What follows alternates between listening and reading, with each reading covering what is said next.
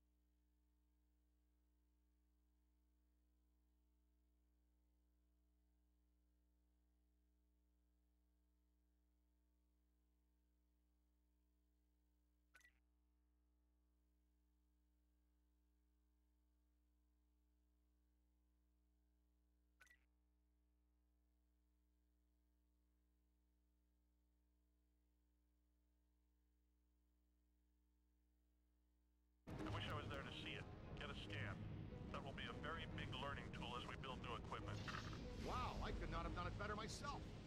Now let's go to work on stealing that energy back. Wrangle that sucker right into your friend. You are doing great, kid. Once the battery's back in the generator, we can move on and face the next thing or object or ghost that wants to